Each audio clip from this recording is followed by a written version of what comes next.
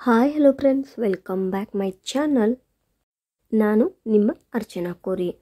ಬನ್ನಿ, ಇವತ್ತಿನ ಟಾಪಿಕ್ ಏನಂತ ನೋಡೋಣ. ನಿಮ್ಮ ಐದು ಸಮಸ್ಯೆಗೆ ಒಂದೇ ಒಂದು ಬೀಜ ಪರಿಹಾರವಾಗಿದೆ. ಅದೇನಂದರೆ, ಕೂದಲಿನ ನಿಮ್ಮ ಯಾವುದೇ ಸಮಸ್ಯೆ ಇರಲಿ ಮತ್ತು ನಿಮಗೇನಾದರೂ ಚರ್ಮದ ಮೇಲೆ ಸುಕ್ಕು ಉಂಟಾಗಿದರೆ ಅದು ಕೂಡ ನಿಮ್ಮ ಸ್ಕಿನ್ ಪ್ರಾಬ್ಲಮ್ ಯಾವುದೇ ಇರಲಿ ಪಿಂಪಲ್ಸ್ ಆಗಿರಲಿ, ಸುಕ್ಕು ಇರಲಿ, ಅದನ್ನು ಹೋಗಲಾಡಿಸುತ್ತದೆ.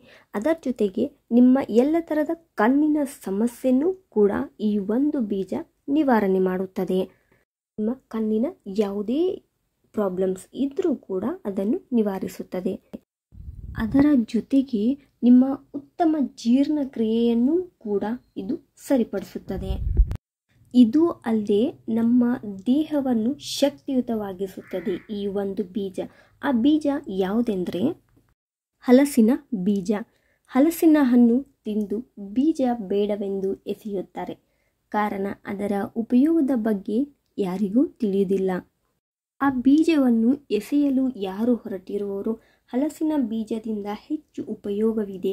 ಅವುಗಳಿಂದಲೂ ನಮ್ಮ ಆರೋಗ್ಯವನ್ನು ಕಾಪಾಡಿಕೊಳ್ಳಬಹುದು. ಹಾಗಾದರೆ ಅದರ ಪ್ರಯೋಜನವನ್ನು ಏನಂತ ನೋಡೋಣ ಬನ್ನಿ. ಮೊದಲನೇದಾಗಿ, ನಮ್ಮ ಚರ್ಮದ ಸೊಕ್ಕನ್ನು ಕಡಿಮೆ ಮಾಡುತ್ತದೆ. ನಮಗೆ ವಯಸ್ಸಾಗಿದೆ ಎಂದು ಯಾರೂ ಹೇಳಿಕೊಳ್ಳುವುದಿಲ್ಲ. ಹೇಳಿ ಎಲ್ಲರೂ ಯಂಗ್ ಮತ್ತು ಎನರ್ಜಿಟಿಕ್ ಆಗಿ ಕಾಣಬೇಕಂತಲೇ ಯೋಚಿಸ್ತಾರೆ.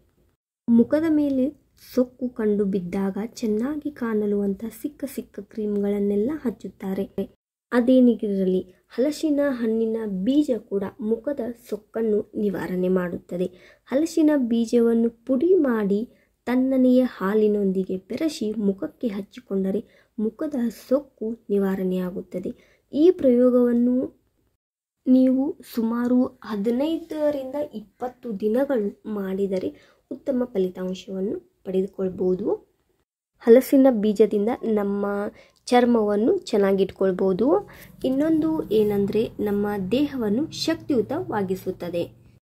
ಈ ಹಲಸಿನ ಬೀಜಗಳಲ್ಲಿ ವಿಟಮಿನ್ ಬಿ ಕಂಡುಬರುತ್ತದೆ. ಒಟ್ಟಾರೆ ಆರೋಗ್ಯ ಕಾಪಾಡಿಕೊಳ್ಳುವಲ್ಲಿ ಇದು ಪ್ರಮುಖ ಪಾತ್ರ ವಹಿಸುತ್ತದೆ.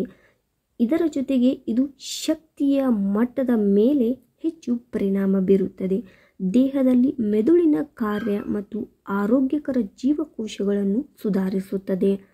ನಮ್ಮ ದೇಹದಲ್ಲಿ ಇಷ್ಟೆಲ್ಲ ಅಂಶಗಳನ್ನು ಸುಧಾರಿಸುತ್ತದೆ. ಇನ್ನು ಮೂರನೇ ಅಂಶ ಏನಂತ ನೋಡೋಣ ಬನ್ನಿ. ಹೆಣ್ಣು ಮಕ್ಕಳು ಲಕ್ಷಣವಾಗಿ ಕಾಣುವುದು ಉದ್ದವಾದ ಕೂದಲಿನಿಂದ.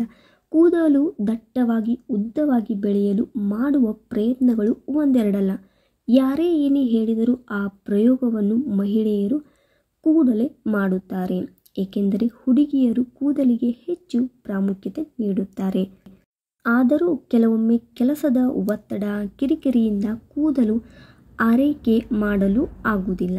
ಬುಡ ಸಮೇತ ಉದುರುವ ಕೂದಲು ನೋಡಿ ಭಯಗೊಳ್ಳಲು ಹೆಣ್ಣು ಮಕ್ಕಳು ಈ ಹಲಸಿನ ಬೀಜದ ಮೊರೆ ಹೋಗಬಹುದು. ನೆರವಿಗೆ ಹಲಸಿನ ಬೀಜವಿದೆ. ಈ ಹಲಸಿನ ಬೀಜಗಳಲ್ಲಿ ಕಬ್ಬಿಣದ ಅಂಶ ಇರುವುದರಿಂದ ಕೂದಲಿನ ಸಮಸ್ಯೆಗಳನ್ನು ನಿವಾರಿಸುತ್ತದೆ. ದೇಹದ ರಕ್ತ ಸಂಚಾರ ಸರಾಗವಾಗಿ ಆಗುವುದರಿಂದ ಕೂದಲು ಚೆನ್ನಾಗಿ ಬೆಳೆಯುತ್ತದೆ. ಆದ್ದರಿಂದ ಈ ಹಲಸಿನ ಬೀಜವನ್ನು ತಿನ್ನುವುದರಿಂದ ಕೂದಲು ಚೆನ್ನಾಗಿ ಬೆಳೆಯಲು ನೆರವಾಗುತ್ತವೆ. ಇನ್ನು ನಾಲ್ಕನೆಯ ಅಂಶ ಯಾವುದೆಂದರೆ ನಮ್ಮ ಕಣ್ಣಿನ ಸಮಸ್ಯೆಯನ್ನು ನಿವಾರಿಸುತ್ತದೆ. ಈಗೀಗಂತಲೂ ಹತ್ತು ವರ್ಷ ದಾಟುತ್ತಿದ್ದಂತೆ ಎರಡೂ ಕಣ್ಣಿಗೆ ಕನ್ನಡಕ ಬಂದುಬಿಡುತ್ತದೆ ಹೀಗಾಗಿ ಟಿವಿ ಮೊಬೈಲ್ ಕಂಪ್ಯೂಟರ್ ನೋಡುವುದರಿಂದ ಕಣ್ಣಿನ ಮೇಲೆ ಹೆಚ್ಚು ಒತ್ತಡ ಬೀಳುತ್ತದೆ. ಇದರಿಂದ ಕಣ್ಣಿನ ಹಲವಾರು ಸಮಸ್ಯೆಗಳು ಹುಟ್ಟಿಕೊಳ್ಳುತ್ತವೆ. ಹೀಗಾಗಿ ಕಣ್ಣಿನ ಆರೋಗ್ಯದ ಬಗ್ಗೆ ಹೆಚ್ಚು ಗಮನ ಹರಿಸಬೇಕಾಗುತ್ತದೆ. ಇದಕ್ಕೆ ಹಲಸಿನ ಬೀಜವು ಯಾವ ರೀತಿ ಸಹಕಾರಿಯಾಗಿದೆ ಅಂತ ನೋಡೋಣ ಬನ್ನಿ. ಹಲಸಿನ ಬೀಜದಲ್ಲಿ ವಿಟಮಿನ್ ಎ ಇರುವುದರಿಂದ ಕಣ್ಣಿನ ತೊಂದರೆಗಳನ್ನು ನಿವಾರಿಸುತ್ತದೆ. ಅದರಲ್ಲೂ ಮುಖ್ಯವಾಗಿ ಇರುಳುಗನ್ನು ಯಾರಿಗಿರುತ್ತದೆ? ಅವರು ಈ ಹಲಸಿನ ಬೀಜವನ್ನು ತಿನ್ನೋದ್ರಿಂದ ನಿವಾರಣೆಯಾಗುತ್ತದೆ.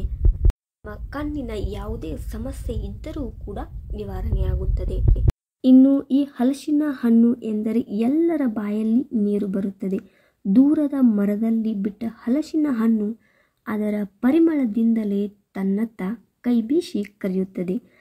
ಯಾರಾದರೂ ಹಲಸಿನ ಹಣ್ಣು ತಿನ್ನುತ್ತಿದ್ದರೆ ಒಂದು ಎಸಳು ಕೊಡಬಾರದು ಅಂತ ಯೋಚಿಸುತ್ತಾರೆ. ಹಲಸಿನ ಹಣ್ಣಿನಿಂದ ಎಷ್ಟೋ ಅಡಿಗೆಗಳನ್ನು ಮಾಡುತ್ತಾರೆ. ಜೊತೆಗೆ ಅದರ ಬೀಜದಿಂದ ಕೂಡ ಅಡಿಗೆ ಮಾಡುತ್ತಾರೆ. ಅಡಿಗೆ ಮಾಡಿದರೂ ಕೂಡ ಆ ಬೀಜದ ಹೆಚ್ಚು ಮಹತ್ವವನ್ನು ಪಡೆದುಕೊಂಡಿದೆ ಎಂದರೆ ನೀವು ನಂಬಲೇಬೇಕು. ಕೊನೆಯದಾಗಿ ಐದನೆಯ ಅಂಶ ಏನೆಂದರೆ ಉತ್ತಮ ಜೀರ್ಣಕ್ರಿಯೆ. ಜೀರ್ಣಕ್ರಿಯೆ ಸರಿಯಾಗದೇ ಇದ್ದಾಗ ದೇಹದ ಸಮತೋಲನ ಹದಗೆಡುತ್ತದೆ. ಮನಸ್ಸಿಗೆ ಕಿರಿಕಿರಿಯಾಗುವ ಜೊತೆಗೆ ದೇಹ ಭಾರವಾದಂತಾಗುತ್ತದೆ.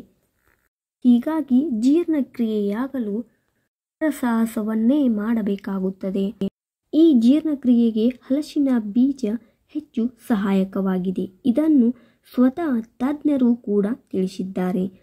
ಅಜೀರ್ಣದಿಂದ ಒದ್ದಾಡುವವರಿಗೆ ಹಲಸಿನ ಬೀಜಗಳು ರಾಮಬಾಣದಂತೆ ಕಾರ್ಯನಿರ್ವಹಿಸುತ್ತವೆ. ಹಲಸಿನ ಬೀಜಗಳನ್ನು ಬೇಯಿಸಿ ತಿಂದಾಗ ಉತ್ತಮವಾಗಿ ಜೀರ್ಣಕ್ರಿಯೆಯಾಗುತ್ತದೆ. ಈ ಹಲಸಿನ ಬೀಜದಿಂದ ನಮ್ಮ ದೇಹಕ್ಕೆ ಎಷ್ಟೊಂದು ಲಾಭವಿದೆ ಎಂದು ನೀವು ತಿಳಿದುಕೊಂಡಿದ್ದೀರಿ. ಇನ್ನೂ ಹೆಚ್ಚಿನ ಮಾಹಿತಿಗಾಗಿ ಸಬ್ಸ್ಕ್ರೈಬ್ ಆಗಿ ಪಕ್ಕದಲ್ಲಿರೋ ಬೆಲ್ ಐಕಾನ್ನ ಕ್ಲಿಕ್ ಮಾಡಿ. Thank you for watching. Keep support.